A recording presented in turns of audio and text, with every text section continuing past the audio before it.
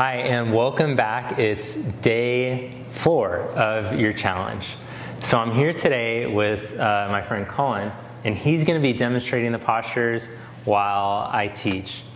Um, make sure to check us out on Instagram.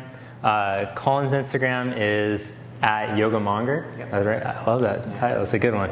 And uh, mine's at Tim Senesi Yoga. So you can follow along some good uh, inspiration, photos, and uh, different yoga stuff that we post on there. Make sure to check that out. Okay, so for today's class, um, you might want to have a couple blocks as usual. And then we're going to begin in child's pose. So come into child's pose.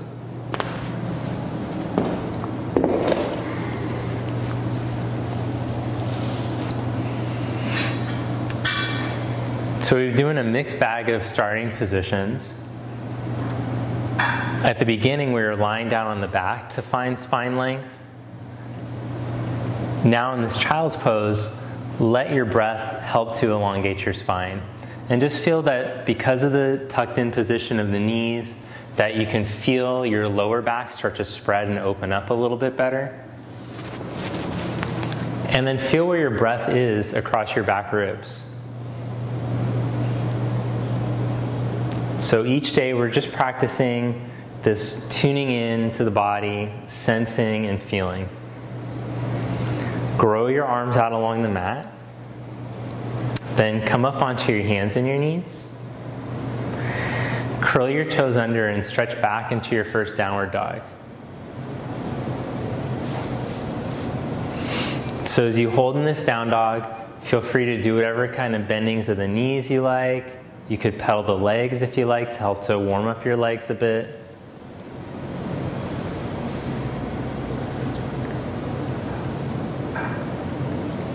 Then walk your feet forward to the front of your mat and give your knees a nice bend. Let the spine start to elongate. So let your head drop over and feel with your knees bent. This is kind of cool. You can feel that the hamstrings release more evenly into the stretch. If you try to jam your hips up right away, you'll feel like only parts of the hamstring stretch. So I want you to be able to sense that. Bend the knees as much as you need to so you can feel the hamstrings stretch evenly. And then see if you can start to lift the hips up a little bit while still stretching them evenly. Now, as you warm up, you'll be able to straighten the legs even more. Come up onto your fingertips and make a flat back, elongate.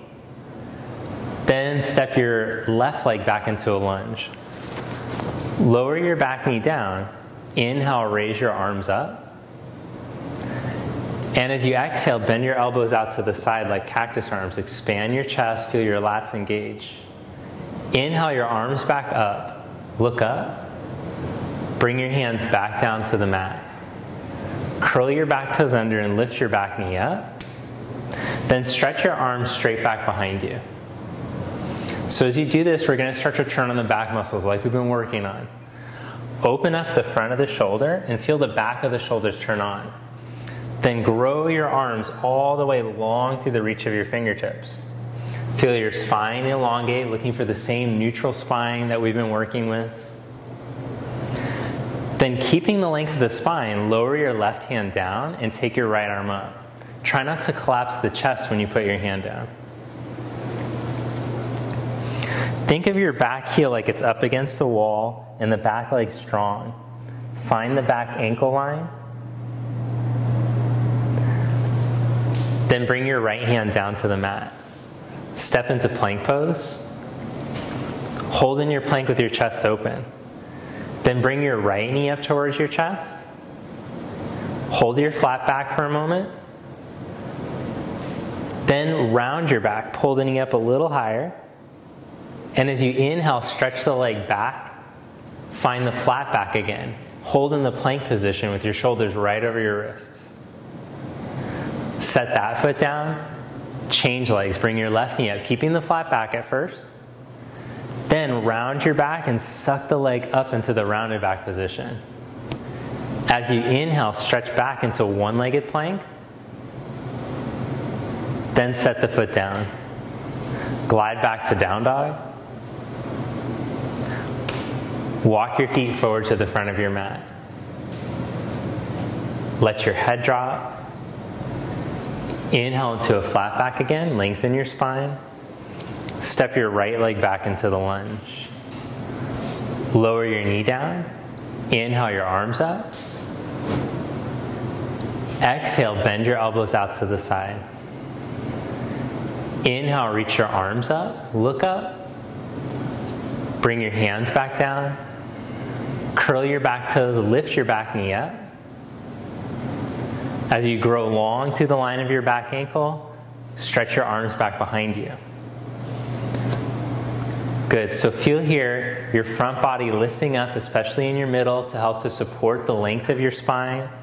And then feel the backs of your shoulders turn on to open up your chest. So the stronger we can make those deltoids, as we've been talking about, and the stronger you can make your external rotators, it will help to prevent this like slouching of the shoulders that wants to happen. Then keeping the chest open, all of your awareness in your shoulder girdle, lower your right hand down. It's almost like you have to resist the twist a little, and then twist and take your left arm up. So as you're twisting, navigate straight up through the midline, just like you're seeing Colin do, like you're reaching the crown of your head out through your right ankle line. Good, then bring your left hand back down to the mat.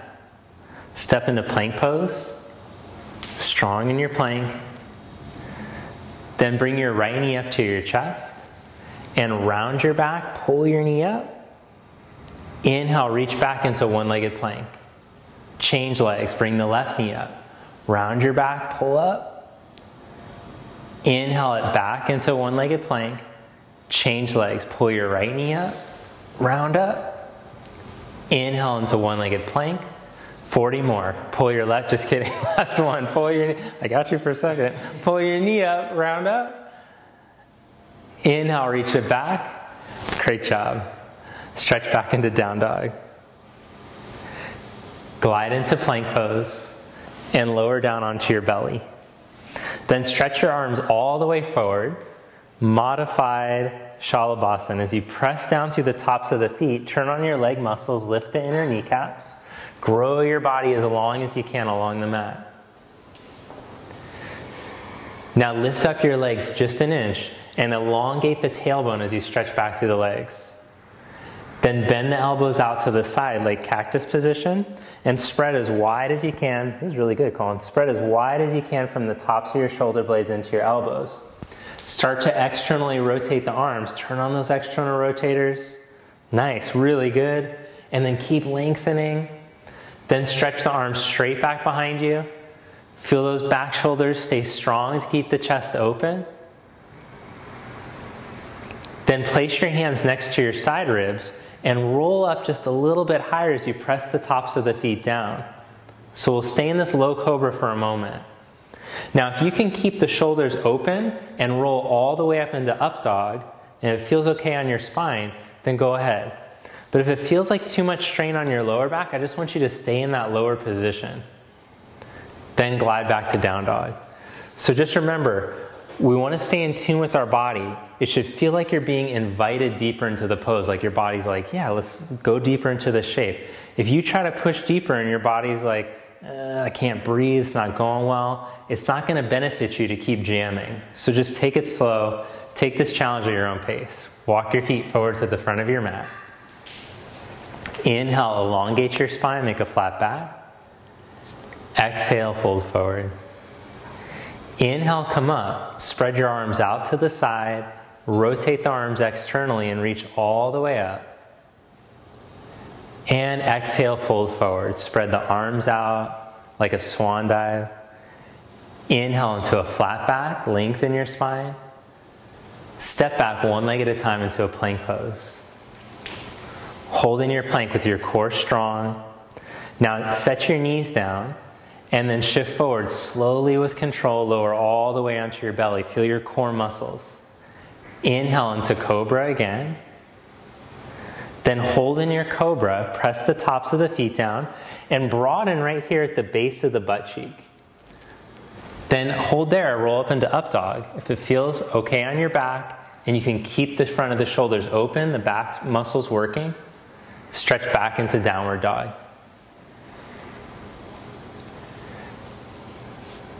Walk your feet forward to the front of your mat. Inhale, make a flat back, elongate. Exhale, fold forward. Inhale, come all the way up, raise your arms up. Exhale, fold forward. Skip the Samasthiti.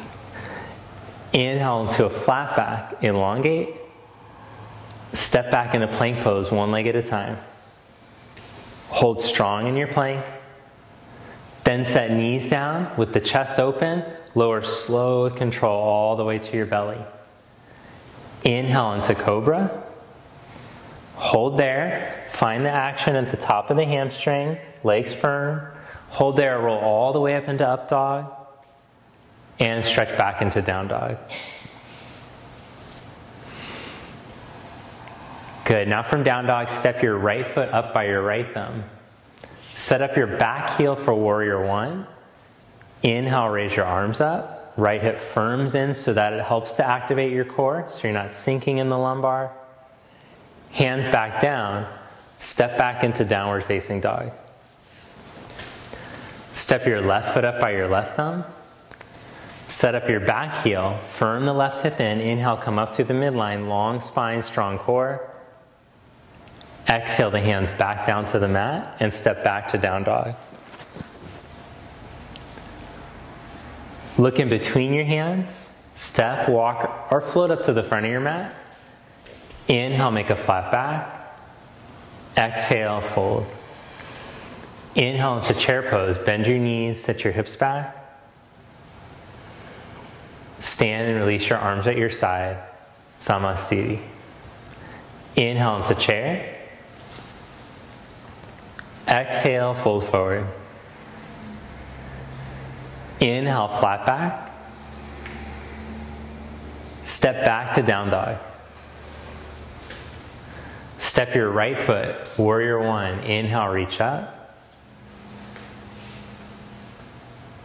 Exhale, down dog.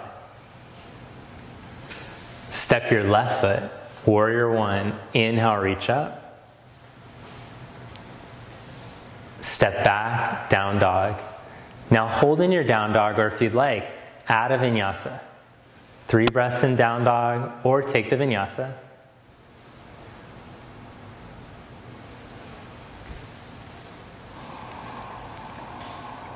Nice. Reconnect into the action of the shoulders. Roll from the outer shoulders down. Feel all three middle three knuckles connect down into the mat, and then start to grow the spine long again even if you have to bend the knees a little bit. So Colin, Colin's an excellent example. He's an advanced practitioner. He can do so many yoga poses beautifully, but he's put this little bend in his knees so that he can find the elongation of his spine.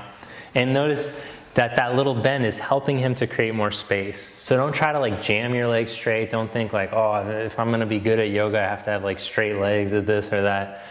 Don't have that judgment on yourself. Walk your feet forward to the front of your mat. Inhale, make a flat back. Exhale, fold forward.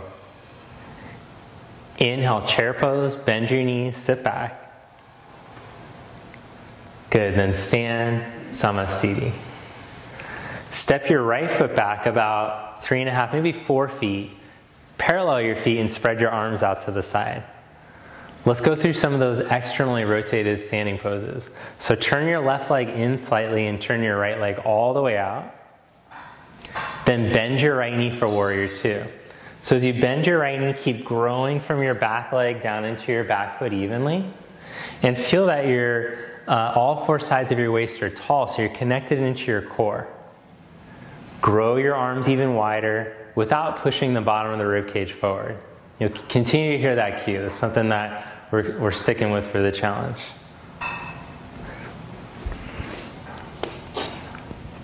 Then reach out over your leg and put your hand down onto the outside of your foot. I'm suggesting a block. Take your left arm all the way over. Look for the long line through your back ankle, out through your spine, through the reach of your left arm.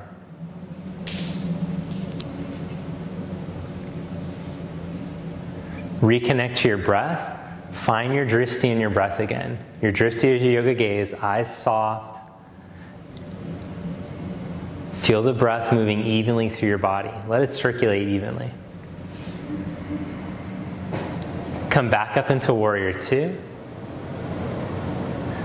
Then straighten your right leg and reach out for triangle pose.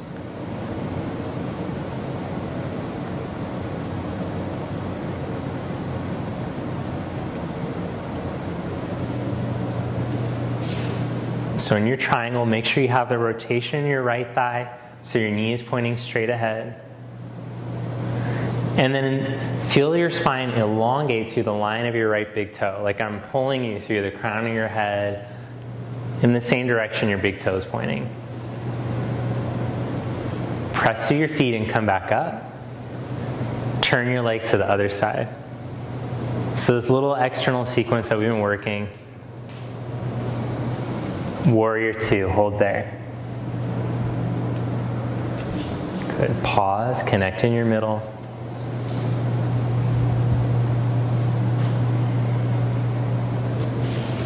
So these standing poses, when they're done well, they'll help to give you all the opening that you need for many of the more advanced postures in yoga.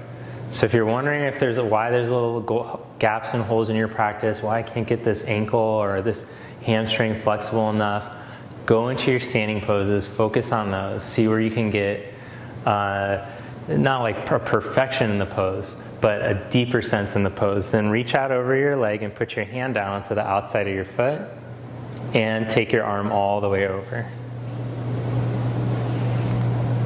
Feel the connection through your back leg into your back foot again. Feel the length through the sides of your ribs, through the line of your back ankle.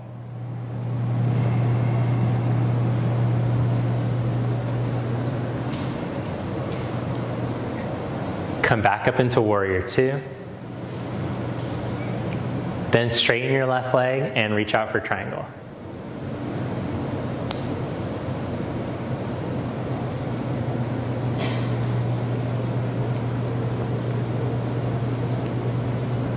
Practice your drishti, eyes soft. Feel your breath moving through your body.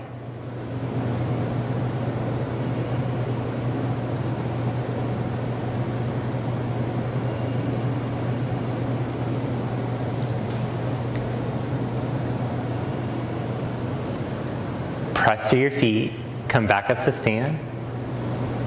Turn your left toes in so your feet are parallel. Place your hands on your hips and roll your shoulders back. Inhale. Exhale, fold forward in between your legs. Set your hands down and inhale, make a flat back. Exhale, walk the hands back, let your head drop.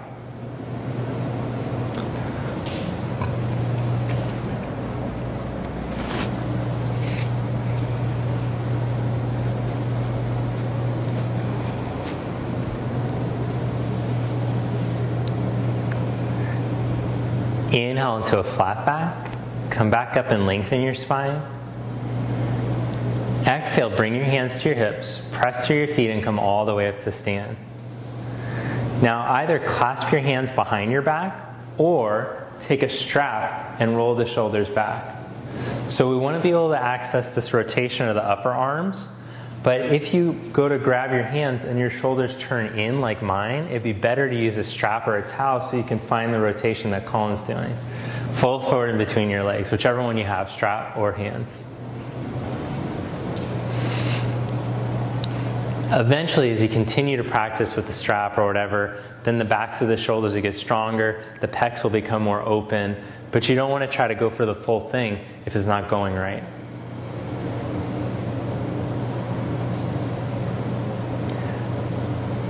Reach to your feet and come back up. Spread your arms out to the side. Let's add in one more while we're here. Turn the left toes in slightly, turn the right leg all the way out. Then bend your right knee and put your right fingertips down onto the inside of your foot. Let's go to the, see if you can go to the medium block this time. As long as your spine doesn't round over, take your left arm straight up. Now we're gonna start to practice the introduction to binding, because we're going to use this in a couple more days. You're going to want to be able to do this. Okay, so take your left arm and internally rotate it. That's where the, the reference is the bicep. Whatever the biceps does is internal or external. Then slide the hand behind your back to your right outer hip. So even though you've turned the arm inward, I still want you to find an external action in your shoulder. Spin the front of the left shoulder open, and then grow your spine and your back ankle long. Make sure your right knee hasn't twisted in. You can pry the right knee open with your right arm, roll that shoulder open and get long. Then take your left arm back up, press to your feet and come back to warrior two. Reverse warrior, flip your palm, reach up. Come back to warrior two, straighten your right leg, and turn your legs to the other side. Bend your left knee. Put your left hand down. Let's go for the medium block. I think if you need the tall block, that's okay too. Expand, create as much space as you can, then internally rotate that arm, slide it behind your back to your outer hip. Once the arm slides back there, roll the shoulder open, grow your spine long,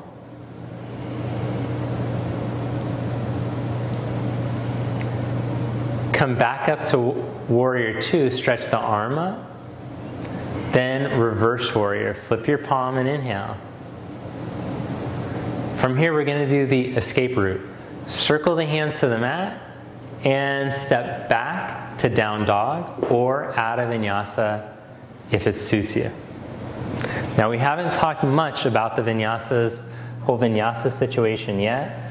So don't worry if that seems like it's too much for you. We're going to work on getting strong for that. Look in between your hands, step or hop up to the top of your mat. Inhale, Ardha. Exhale, fold.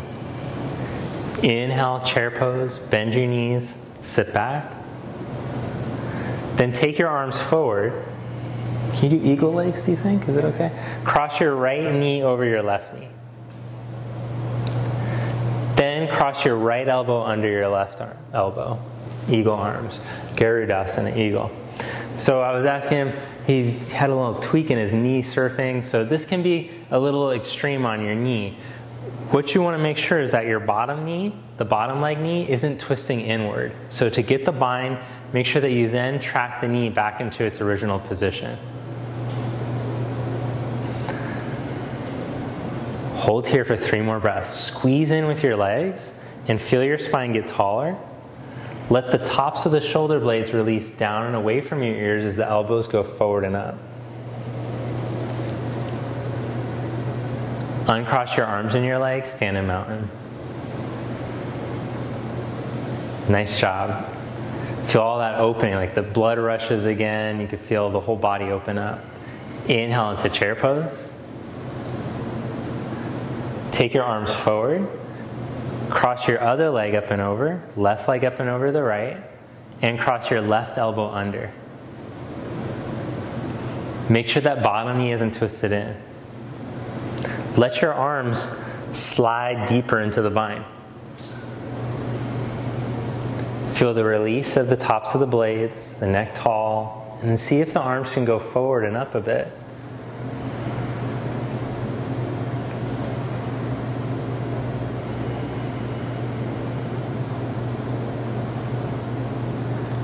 Uncross your arms and your legs. Stand tall in mountain. Feel everything open up again. Good job. Inhale, raise your arms up.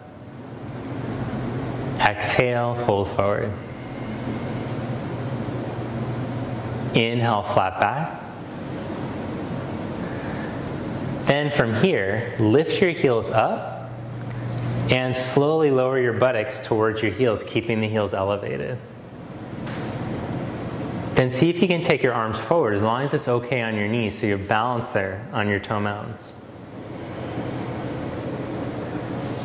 Good. Now sit your buttock down onto the mat and bring your knees up into boat position. Let's do this first one with the knees bent and then try to make a V shape with your body. So you don't want the knees to go too far away from your chest. You make this tight V shape. Feel your tailbone and your sit bones root down through your sit bones and your tailbone. It's like a tripod that's helping you to balance.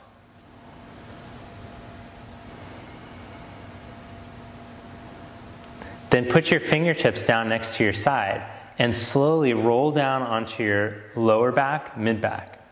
Bring the legs in the table again. Lower the head down. Bring the knees right up over top of your hips. Good. Then fingers behind your ears.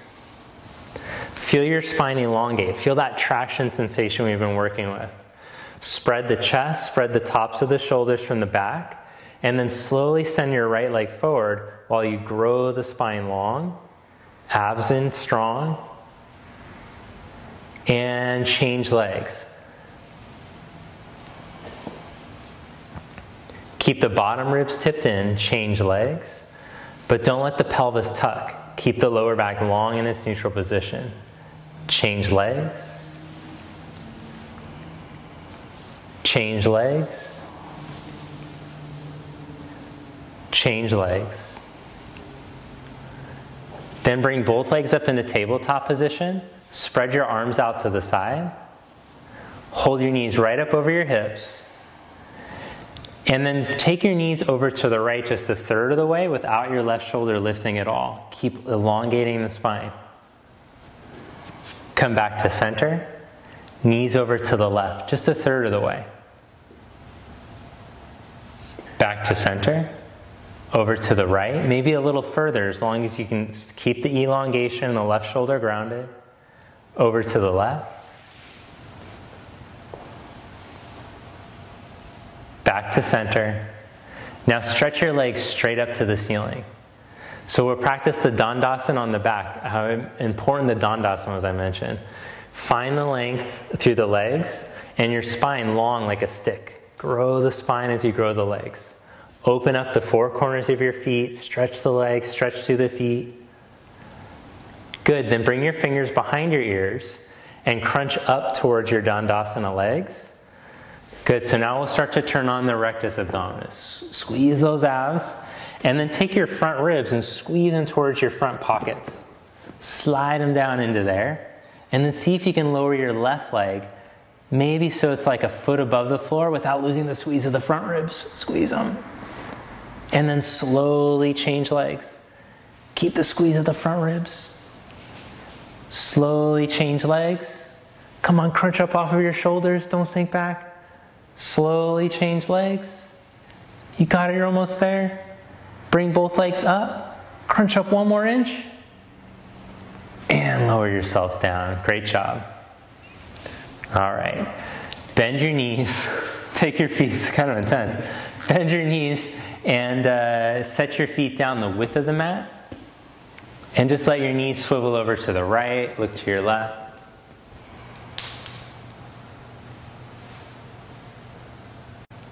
Knees over to the left, look to your right.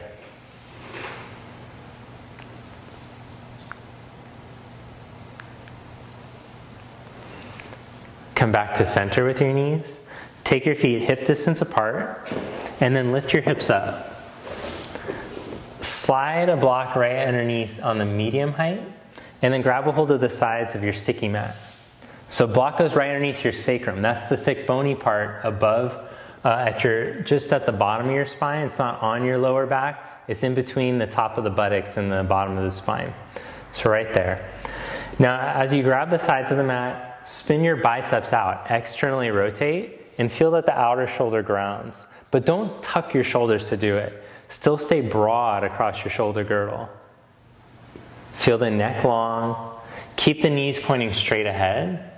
Then, as you exhale, Control from your core, lift yourself up off the block, pause, keep all that spread for your shoulder girdle, the length of your spine. Make sure the knees didn't push out. Most of us will use glute max to, and push the knees out. Instead, keep the knees pointing straight ahead. Slowly lower your butt back down. And exhale, lift back up. Feel the hamstrings turn on evenly. Lower back down. One more time. Exhale, lift up and hold.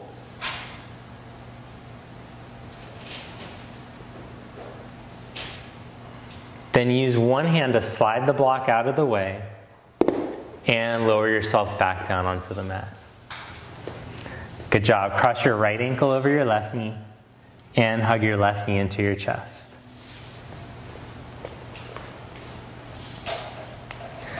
As you're holding here, turn your right thigh out and resist the right knee away from you. And these supine stretches are great to help us to be able to access the length of the spine again. You're going to get nauseated with me saying that phrase by the end of this challenge, I think. But it's so important for turning on your core. So see if you can find that, and it'll actually change the stretch that you feel in your hip. Find the elongation instead of just like how close can I jam my knee. It should be how much space can I create through my spine as I hug my leg in towards me. Change sides, change the cross.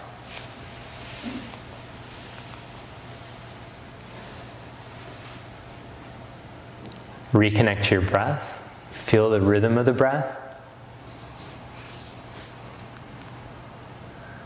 One thing that we like to do is practice this slower breathing because it helps to calm the nervous system so that the stretch is more attainable, so that your body is resisting the stretch less. So you can play with that. You can practice a slower rhythmic breath. But if it freaks you out at all or creates more strain, then just give that up and breathe normally.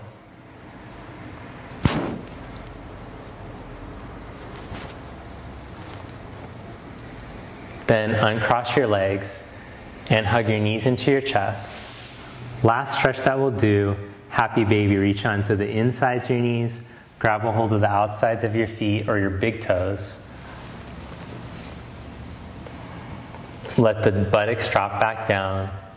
Let the shoulders relax towards the floor.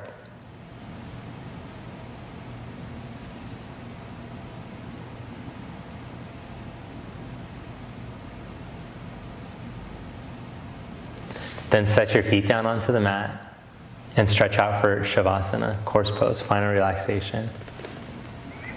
So take your feet just slightly wider than hip distance to let the leg pits open. You could take the hands a little away from the body, maybe like a foot away so it feels like your armpits can breathe. And let your feet and your legs relax. Let go of the tension in your abdomen. Let the muscles in the back relax, the shoulders and the neck. Relax your hands and your arms.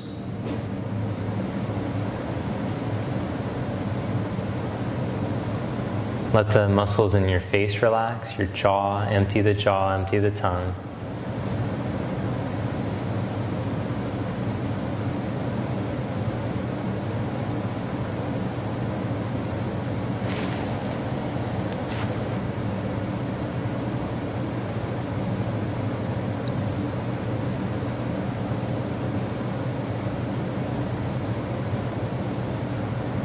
Soften the scalp.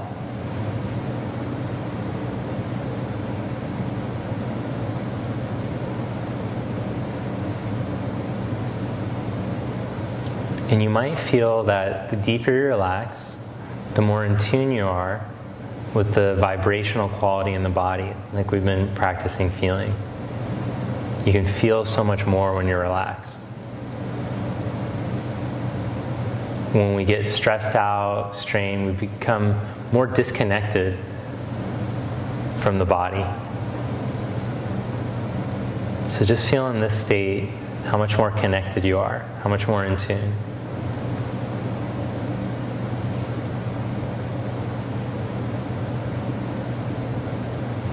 Then bend your knees. Roll over to your right side.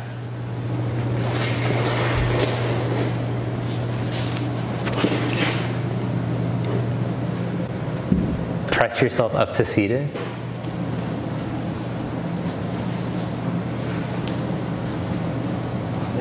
You're welcome. Sit up tall and bring your palms together. So just take a moment of gratitude here for all the benefits that your yoga practice is bringing you. for the shift that comes at your at the end of your practice. How good do you feel? Thank you. Namaste. Namaste.